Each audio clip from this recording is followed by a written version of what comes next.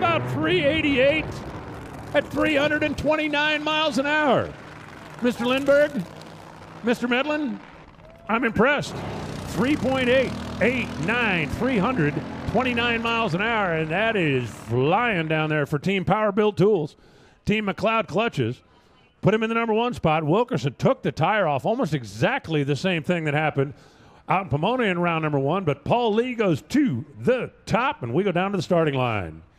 With crew chief Jonnie Lindberg, impressive pass. What were you looking at throughout the day to get you ready for Q1?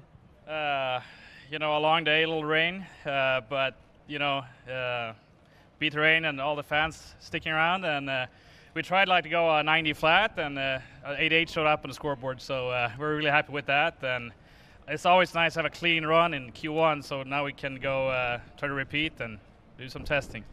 Definitely, well done. You were trying to run 90 flat, and you got an 88. You're not very good at this.